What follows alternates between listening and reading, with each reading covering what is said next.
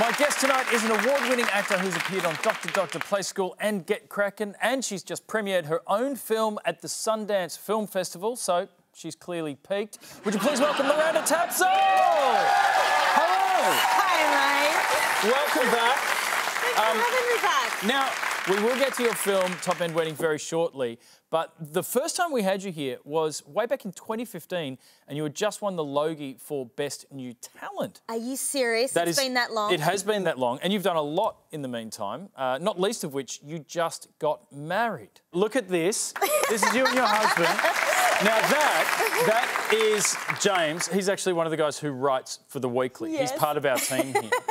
and uh, I was always under the impression that um, that when you came on in tw 2015, that you had met by coming on the show, and that I had played a really big role in you guys getting together. And it turns out I was wrong. Yes, you were in every way because you, you, you told James. Well, I think many people behind the scenes told James, "Don't speak to the talent. Just keep right away from her." Um, and uh, I remember actually um, uh, backstage, like I had, I had, I think, walked past him in the in the hallway, and he went.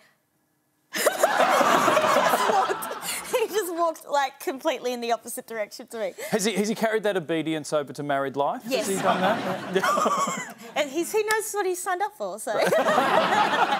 now, your new movie is Top End Wedding, and it premiered at Sundance. Yes. It's like a bit of a wild goose chase because you're, tr- you're trying to find your mum who's missing before the wedding. Yeah. And that means you get to tick off like Katherine, like everything, you like Kakadu. it's all the places I grew up, you know. I was born in Darwin, I grew up in Kakadu, um, I went to school camp in Katherine, so I'm glad I got to show all of that off. I, I would say like it's just beautiful. You're in you're in Tiwi, it's uh, the Tiwi Islands. Uh, What was that like? That is where your family is from. What was it like filming there? We wanted to celebrate them, we wanted to celebrate their art, their songs, and their love of family because that's how they've embraced me whenever I've gone back to the islands. I've always been someone's niece, granddaughter, cousin, and uh, I. Uh, I just love that part of the world, and I'm really, really proud to come from there. But a lot of the people, a lot of people in the movie, Yeah. aren't weren't actors. No. A lot of them were locals, just participating. Yes, uh, the women who were in the choir, they are just so gorgeous. They were thinking that it was my actual wedding. oh, really? They're like, gee, this is this ceremony's taking a long time. Well, it is a beautiful movie. It's out May the 2nd. Uh, but something else that you've been working on lately caused a bit of a stir last week. You were in the final episode of Get Krack!n. In the episode, you and Nakkiah Lui, you step in for the two Kates to take over hosting the show.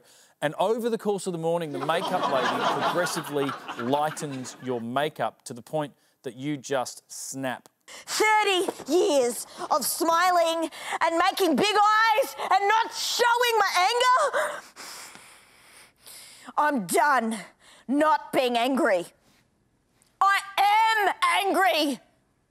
And if you don't like me being angry, then by all means, Australia, take my furious button and run this race for me. Now, the, the obvious question that has to be asked is should you really be doing whiteface on TV? Um, uh, look, um, there's quite a contrast between that and so the beautiful, gentle portrayal of the Tiwi Islands in the film. And I'm just curious, what do you think is a more powerful way to get people to change their minds and to think? Is it is it the, the anger or perhaps the, the telling of a beautiful story? That's such an interesting question because, um, I mean, that's something we've always grappled with in terms of race relations around the world. For me, I think there's no right way to do it. You know, you've, you've always got to go with your gut on that, and you've always got to respond to a moment that you've, a, a circumstance that you've been in to, to be able to respond the way that you want to. Well, we are big fans of yours here at The Weekly. All the best with the new movie, Top End Wedding. Would you please thank Miranda Tapsell?